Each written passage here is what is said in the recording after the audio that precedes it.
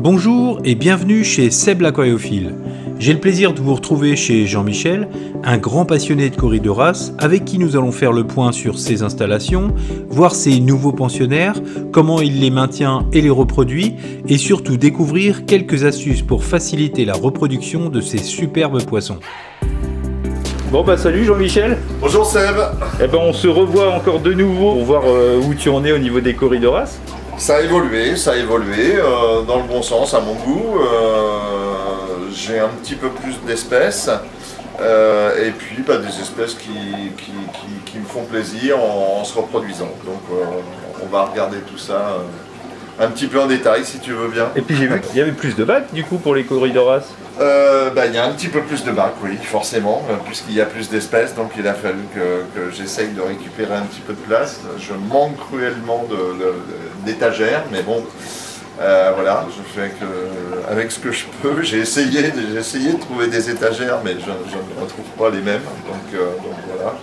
Je conforte l'utilisation de, bacs qui sont à la base prévus pour les tortues d'eau.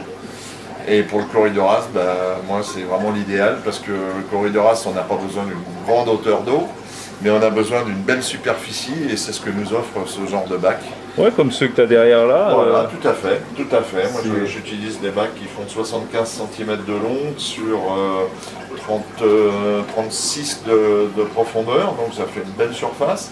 Et puis 25 de haut, mais 25 c'est largement suffisant. Donc, Ouais, ouais.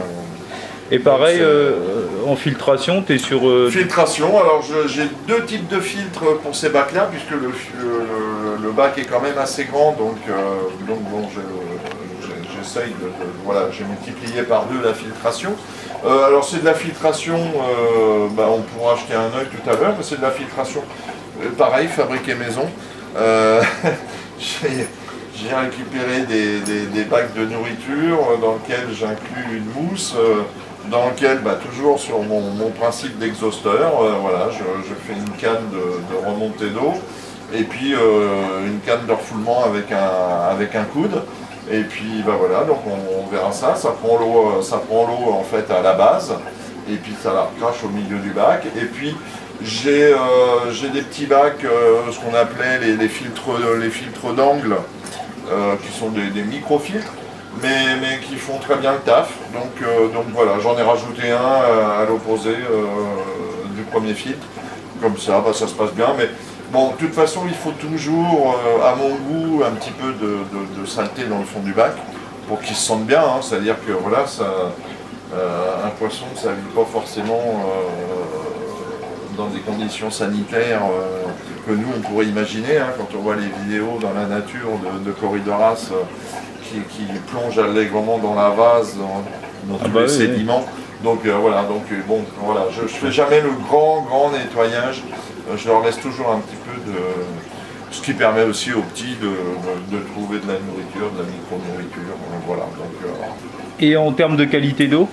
Eh ben, qualité d'eau, alors moi je les maintiens euh, comme, tous mes, comme tous mes bacs à poissons ici, moitié eau du robinet, moitié eau osmose. Voilà. Donc, euh, donc ça adoucit un petit peu l'eau. Euh, je n'ai pas d'ailleurs les caractéristiques exactes puisque je ne teste jamais mon eau pratiquement. Euh, puisque en fait, euh, ben voilà, les bacs, je m'en occupe régulièrement. Il y a un gros changement d'eau de au moins 10% du bac toutes les semaines. Et donc, ben voilà, comme ça, ça, ça permet d'avoir tout le temps une eau qui leur convient puisqu'ils se reproduisent. Oui bah c'est ça, c'est que il y, a des- il y a des œufs partout. La, la- la cantine est bonne, euh, l'environnement est bon, donc euh, ils se reproduisent. c'est ce que je leur demande. Alors moi les premiers que j'ai vus là, c'est ceux-là, je les adore. Les Adolphe. Ah oui, ça c'est aussi mon petit coup de cœur. Euh, là franchement, ceux-là ça fait pas longtemps que tu les as. Non, ça fait. j'en avais, j'en avais deux trois euh, que j'avais récupérés, mais euh, mais bon, deux trois, ça fait pas un groupe de reproduction. Donc euh, il a fallu que j'en trouve d'autres, euh, que j'en fasse venir, que j'en trouve euh, chez des éleveurs. Il n'y a pas beaucoup d'éleveurs, donc bon, je me rappelle d'un week-end que je suis allé passer dans la Sarthe. Et puis donc moi j'ai formé mon groupe. Et puis ben voilà, depuis quelques temps, ben, on s'aperçoit qu'ils se plaisent bien puisqu'il y a, y a pas mal de reproductions. Et je savais que tu venais, donc j'aurais fait un gros changement d'eau et on peut voir les, les œufs collés sur les vitres. L'éclosion, euh, moi je dirais au moins 72 heures, hein, 72 à 96 heures hein, pour, un, pour un Adolphoy. C'est plus long que la normalité sur les corridoras.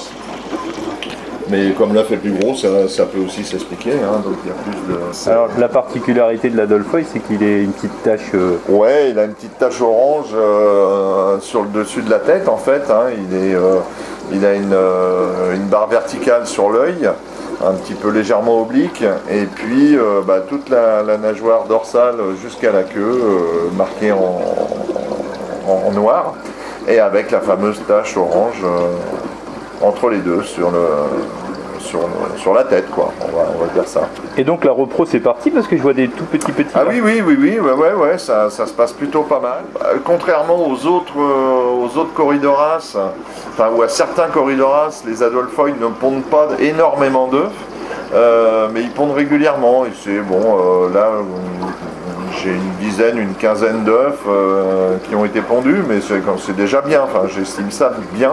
D'ailleurs, les œufs, quand on, quand on regarde un œuf par rapport à un œuf d'Aenus, l'œuf est beaucoup plus gros. Donc de toute façon, la femelle ne peut forcément pas en avoir euh, 200 euh, comme chez un, Aenus. Quoi. Donc, euh, donc j'ai l'impression que ça pond plutôt plus régulièrement et euh, des œufs plus gros, mais en moindre quantité. Du coup après, je crois que j'ai dû reconnaître quand même des, Sterbae. Bah, ils n'ont pas changé de bac, ils sont toujours dans leur bac euh, de prédilection, ouais, ouais, les. Sterbae. Mais là cette Euh, souche là, tu l'as depuis un bon moment Ah en oui, fait. hein. oui, oui, oui, ça fait, ça fait déjà quelques années. D'ailleurs, les, les adultes. euh, Ah mais ils sont, les adultes ils sont euh, énormes. Ouais, ouais. Bah là, on a des, des- des femelles qui font 5-6 cm. Ah ben là je- j'en ai une à l'image, elle est énorme. On Ah s'en ouais. rend pas compte mais euh, Ouais, ouais, mais c'est c'est vraiment des, des beaux poissons. Euh, ouais, bah c'est un groupe de reproduction, c'est pareil, euh, ils sont là, ils se plaisent. Je leur laisse les œufs et les petits, et donc euh, bah, je récupère de temps en temps quelques petits, comme ça ils sont pas. ils n'ont pas l'impression que je leur vole leur production. Du coup, ouais, on a toujours bah, les, ouais, les mais qui sont. Mais... Non, mais attends, c'est- c'est des Aenus ou c'est des. euh, C'est de la Hénus croisée, euh, normand, c'est de, la vache normande. euh, Mais non, mais c'est euh, c'est un truc de dingue. Je sais pas, là, la femelle, elle fait combien? Ouais, 7 cm facile, ouais. Ouais, Non, quand on y nourrit bien et, et qu'ils se sentent bien, ben, ils poussent. hein. donc, euh, donc voilà, donc il n'y a pas de raison. mais du coup, au niveau alimentation, c'est toujours pareil c'est. euh, L'alimentation, donc je leur donne des, des- des granulés, je leur donne des tétramines, je leur donne euh, évidemment euh, ben, mal de nourriture vivante. euh, ou ce que j'appelle nourriture vivante, c'est soit des vers de vase vivants quand on peut en avoir, ou soit des vers de vase congelés, des choses comme ça. Ah oui, alors ça c'est oui, ça c'est un. Ça c'est des quelques reproductions. Je suis en train de développer, enfin j'essaye de développer des voiles. Ah oui, mais déjà, là, il y a deux ans, euh, on en a parlé. mais je suis toujours dessus, mais ça prend du temps et puis j'ai pas énormément de temps à, à- à consacrer, donc euh, c'est ça le problème. Mais, euh, mais ça vient, ça vient, je commence à avoir quelques résultats, tu verras tout à l'heure dans un autre pack. Fait une petite sélection. Alors là, j'essaye de, croiser des voiles maintenant avec de, de l'albinos. J'avais récupéré quelques corridoras qui avaient, déjà des voiles un petit peu sympas. Donc j'ai développé euh, cette partie-là, donc en, Aenus normal, mais voilé. Donc j'ai réussi maintenant à avoir quelques voilés qu'on va voir dans un bac qui, qui commence à être intéressant. Et alors le but maintenant, puisque un éleveur il a toujours toujours un, coup d'avance à, essayer de- de- de- d'entreprendre, c'est de croiser, euh, enfin c'est-à-dire de faire du voile sur de l'albinos, croiser de l'albinos et du voilé. Voilà. Donc, euh, donc euh, là je commence, je, les mets ensemble. Et puis bah, avec un petit peu de chance, euh, eh ben, il y a une femelle voilée qui va, qui va être fécondée par un albinos. Et puis voilà, on aura le gène. Et puis, et puis ça démarre comme ça. quoi. hein. On m'a toujours dit qu'un poisson prenait toute sa, toute sa puissance dans les, dans les 15 premiers jours. Oui, Donc moi, en permanence, euh, Oui, j'ai toujours mes artémias.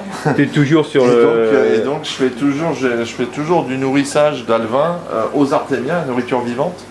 Euh, ce qui est très facile parce que, parce que voilà, ça se fait tout seul. hein. et puis, et puis c'est vraiment une micro-particule vivante, qui plus est, euh, qui, peut, qui peut nourrir les alvins. hein. C'est-à-dire que vraiment au sortir du sac vitérin, euh, je passe directement au pli d'artémien. Euh, alors on m'avait posé aussi la question sur comment, comment on récupère les œufs. Ben, moi j'utilise tout simplement une, une lame de cutter. Euh, toute simple, hein, qui, est, vraiment euh, qui coupe plus d'ailleurs, hein, c'est ce qu'on lui demande. et puis et puis euh, je vais je vais avec ma lame récupérer les œufs à, l'intérieur en faisant tout doucement, en montant les œufs jusqu'à la surface. Et puis bah, je récupère les œufs, je les mets donc ici, bah, on avait vu ça sur la première vidéo, hein, je les mets dans un, petit éclosoir. Et puis bah, toujours sur mon, principe de, filtrage sur exhausteur, le rejet de l'exhausteur vient euh, Oxygéner, le- ouais. vient oxygéner, ventiler les œufs en fait hein, avec de l'eau. Euh, et puis euh, bah, du coup ventile la- la- le, petit, le petit pondoir. Si, on n'a pas ça, on peut mettre un, on pourrait très bien mettre juste euh, un tuyau à air avec un diffuseur euh, Oui, d'air. bien sûr, bien Pas sûr. trop puissant, Ouais, mais euh, c'est juste fait. uniquement pour faire passer le, un passage d'eau. Voilà, c'est uniquement pour ventiler les œufs, pour éviter la moisissure. Euh, chose que j'avais pas précisé, mais qu'on voyait dans la première vidéo. Euh, petite astuce de ma part, puisque je fais aussi de la crevette, donc j'ai des feuilles de catapa euh, pour mes crevettes. Et donc, lorsque j'isole des œufs pour les mettre à éclore, je les mets dans plusieurs couches de feuilles de catapa. Et donc, la feuille de catapa, euh, soi-disant, on s'aperçoit que ça fonctionne, un, un agent antifongique. Ouais, Et donc, ça évite la moisissure sur les œufs. Voilà. On aura toujours, de toute façon, dans une ponte, des œufs qui ne seront pas fécondés, et ces œufs non fécondés viendront toujours à moisir. Ce qu'il est important de faire, là je donne aussi la petite astuce, hein, je rentre un peu plus dans le détail, c'est que dès qu'on voit des œufs qui, qui sont en train de moisir euh, dans, dans- dans un bac de, de- de fécondation, et ben on, l'en- on- bien sûr on siphonne ces œufs-là. Moi j'ai un tout petit, un tout, un tout petit tuyau à air euh, avec un petit tuyau rigide au bout. Et donc je vais siphonner les œufs qui ne sont pas euh, fécondés. Ça évite que, que- ça se propage. Tout à fait. Parce qu'autrement, si, si on laisse faire, au bout de deux jours, tous les œufs sont moisis. D'accord. Et tu Même les réussi- et, et ça t'arrive fréquemment de, réussir à stopper cette moisissure en enlevant 2-3 Ah oui, bien sûr. Ouais. Bien sûr. Dès l'instant où tu enlèves les, les œufs moisis, il n'y a plus de moisissure dans le bac, donc euh, il y a- elle ne peut plus se, se propager. Ouais, non, ça c'est bien ça. Pour euh, la repro, euh, c'est toujours le même principe en fait. Oh bah tu- oui. euh, Ils se reproduisent tout seuls ou tu. tu- Ouais, alors enfin bon, bah, je les déclenche un petit peu quand j'ai quand j'ai envie. Hein, Ouais. euh, c'est toujours sur le même principe, le corridoras. Euh, gros changement d'eau, nourriture vivante. Euh, après le changement d'eau, deux jours après, ça pond. Généralement, s'ils sont prêts à pondre, euh, ça les déclenche. Euh, ça pond, euh, je confirme, euh, et je maintiens que ça pond principalement l'hiver, c'est-à-dire quand il y a des dépressions. Hein, c'est-à-dire quand on, euh, là en ce moment on a des dépressions, donc c'est pour ça qu'on a des pontes. Euh, dès qu'ils sentent que, euh, que la pression atmosphérique euh, baisse, ben, ils- voilà, ça déclenche Ouais. la pompe. Et tu vois, le, tu vois vraiment la différence en juillet, août Ah oui, euh, tout à fait, oui, oui, oui, bien sûr. Ah oui, oui, moi je, moi je la vois la différence. Donc, euh, alors peut-être c'est parce que j'y crois plus que les autres, mais euh, non, non, moi je suis vraiment persuadé. Euh, de toute façon, c'est presque un instinct de survie, hein, c'est-à-dire que euh, dès l'instant où on fait un changement d'eau, pour eux c'est la, la mousson. La mousson, Donc, ouais. donc voilà, donc pour eux c'est inondation, c'est risque de risque de mourir, donc donc on se reproduit. quoi. Voilà, on déclenche vraiment hein, l'instinct de, de survie. Donc moi je vois je vois bien la différence. Et puis après, ben, j'ai déjà dit, hein, euh, tout ce qui est ANUS, tout ce, que- tout ce qui pompe beaucoup d'œufs, je récupère les œufs, je les mets à éclore, et puis tous les autres, je les laisse faire euh, tout seul dans leur coin. Et donc ça se passe bien, euh, voilà quoi. Et puis ben, bien évidemment, toujours les Artémia salina pour, nourrir les albins. Je maintiens qu'un poisson, il va prendre toute sa force dans les 15 premiers jours de sa vie. Donc si on le nourrit bien avec de la nourriture vivante dès le départ, ça fera des beaux poissons par la suite. C'est mon petit coup de cœur numéro 2. Bah, tu, tu, tu es au courant puisque y a- Bah ouais, hein.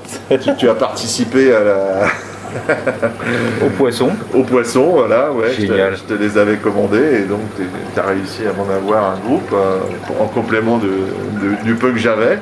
Donc ça, ce sont mes petits abrosus.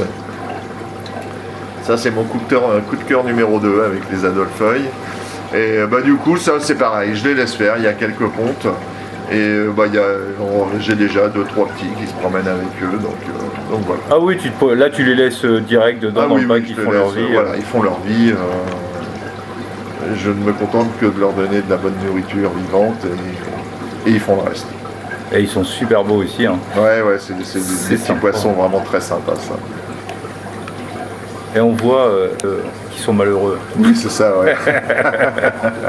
Non mais c'est vrai, on dirait que le poisson, ils sont, ils sont heureux dans le... comme disait, euh, j'avais lu une, euh, une remarque, un commentaire euh, sur la première vidéo où quelqu'un disait ils ont l'éleveur a les moustaches de, de- de ces poissons.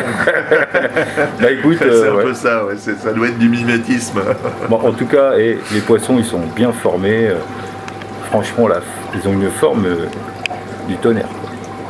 Ah ouais, super suis- beaux. J'en suis assez content. Ok, eh ben Voilà. écoute, hein, super. En tout cas, euh, encore merci euh, bah, pour ce deuxième épisode des La Passion des Corridoras. Et puis, euh, bah, on se reverra certainement, hein, de toute Ah bah, façon. écoute, hein. ce sera avec plaisir. À mon avis, dans deux ans maintenant. Et ben, pourquoi Non, pas. peut-être avant, on va peut-être faire des choses, on verra bien, mais bon, si on ça, peut. ça marche. Bah, Il y aura peut-être d'autres espèces. Exact. Allez, Bientôt. merci. Salut. J'espère que vous avez aimé cette petite vidéo. Si tel est le cas, n'hésitez pas à liker et partager ou tout simplement vous abonner à ma chaîne pour recevoir les dernières vidéos mises en ligne.